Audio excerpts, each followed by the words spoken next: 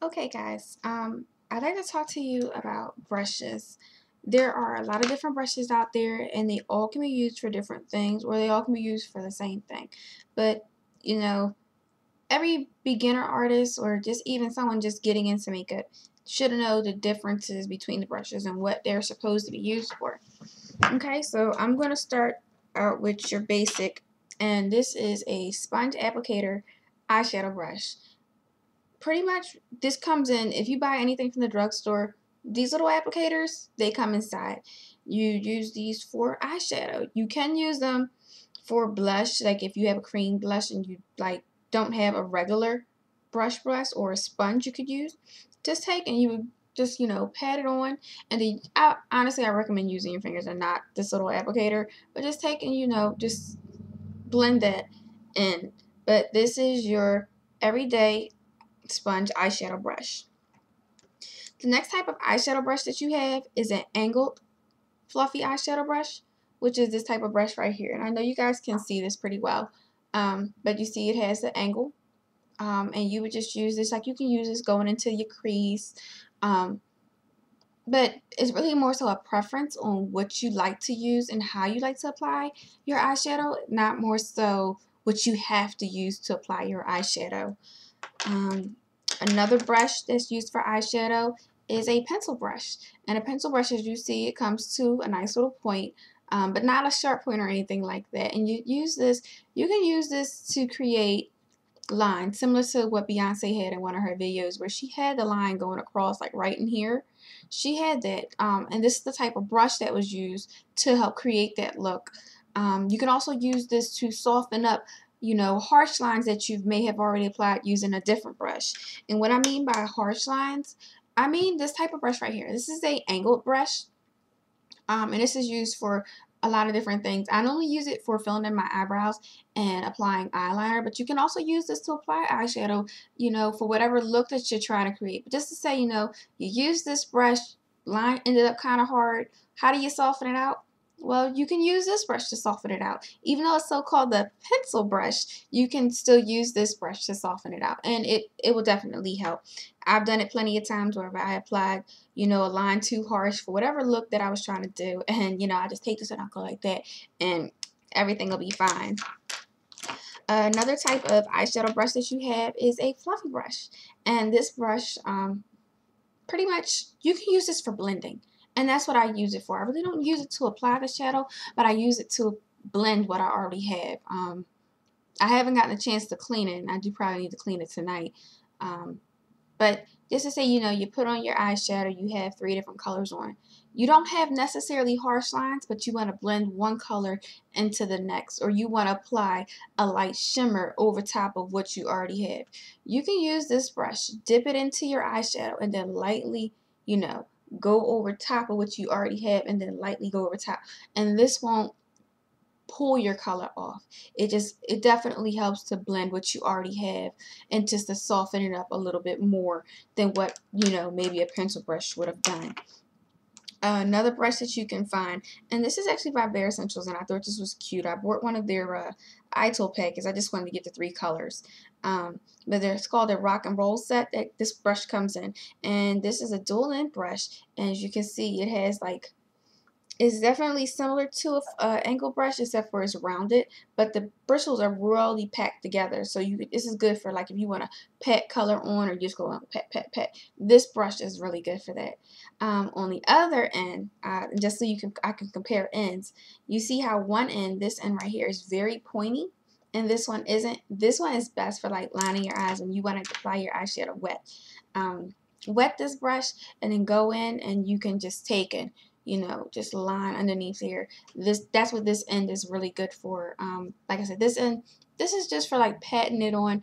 Uh, if you're not familiar with Bare Minerals, Bare Escentuals, whatever they want to call themselves, they're all powder eyeshadows where you can apply them and you would do a, a star swoop tap motion. And these brushes or this particular brush is really good for using any type of loose powder eyeshadows that you have.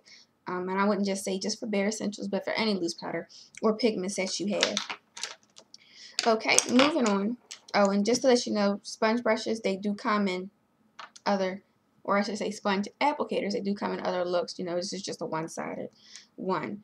Um, moving along to concealer brushes. There are two different types of concealer brushes.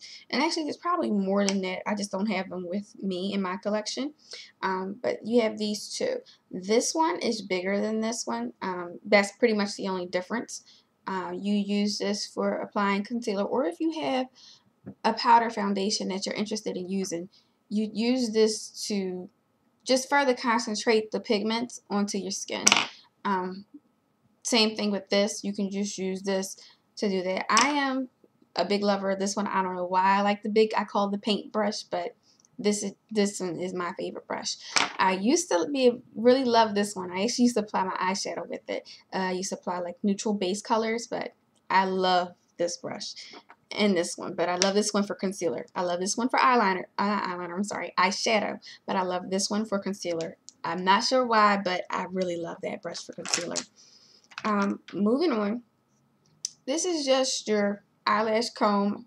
Um, and this is your eyebrow brush. You just use this and go, you know, like that. If you want to clean up your eyebrows or if you may apply too much mascara, you just use it like that and this will just help straighten that out. I really don't use this brush that often, but I do use this comb part to comb out my different brushes. Like if I have this brush, once I'm done cleaning, I'll just go like that. And you can use it just to get away any flyaway bristles because you don't want to be applying your makeup and then one falls. And God forbid you put an eyeshadow on and it gets into your eye because that can be a, a really big hassle. So use this brush if you want to clean up eyelashes, clean up your eyebrows, or to help fix your brushes. And that's what I really use this brush for. Um, moving along to powder brushes. There are so many different type of powder brushes out there. You have what they call your mini kabuki. There are ones that are bigger than this. Some of them are flat top, just like this one. This is actually by, or I should say for Mary Kay's mineral powder. This is what they suggest that you use for it. I like using one that's rounded, like the kabuki brush. I just, I'm not, I don't really care for and I think more so brushes are preference. I don't particularly care for a flat off brush. But I do love my little kabuki brush. This, you know, you can use this to apply blush. You can use it to apply uh, just any type of powder. But I really love this for my uh, setting powders that I use. Another um, brush you can use is it's a little bit, it's a flat one, but it's wide. You can also use this to apply your foundations um, whether it be a liquid foundation or a powder foundation. It could even be one of the uh, baked on powders. MAC has a, uh, what is it called, skin finish powder. And I used to use this brush for that. Um, it's not bad, you know, just take, swirl it a couple of times and you can just take and buff that on your color over top of your foundation. And like I said, it's not harsh on your foundation. Most people say, you know, if you're brushing on any type of powder, you're brushing on your foundation. You know, not with this brush, you're not, because the bristles are so soft, you're not brushing away anything. Um, and the last brush that I have, this is my dedicated blush brush. This brush I use to, you know, start on this side, then I just turned it to sweep it out any color that I have. But I definitely like this brush. It's just they I don't even think this is in the packet. It's labeled as the blush brush, but this brush this is my favorite for applying my blushes because I can take and you know swirl in I can create my small circles or my big circles and then smooth them out right across my face so that's pretty much it for brushes and just a quick overview we got kabukis we got small foundation brushes we have blush brushes we have an eyeshadow brush with dual end with a pencil point.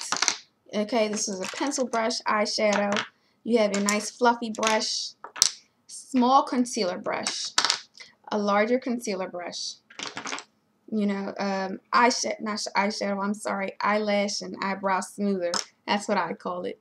You have an angled brush. You have an angled fluffy brush for eyeshadow. You have your dual end sponge applicator for eyeshadow, and then you have your single end sponge applicator for eyeshadow.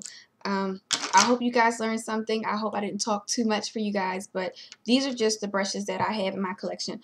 Oh my goodness, I forgot to talk about a brush. I can't believe it. This is called a stippling brush.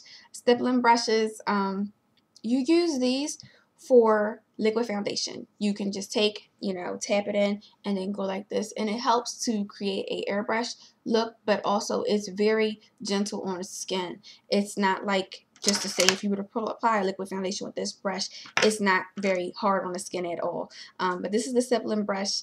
This is what it looks like. Um, it just, you know, it kind of like just puts it on in little dots and then you can spread on your liquid foundation. Um, I've never used this for anything else other than liquid foundation. So, like I said, guys, I hope you guys learned something. I know I probably talked too much, but I just wanted to do a quick overview of some brushes that every person should have in their makeup kit. All right, I'll talk with you later, guys. Bye.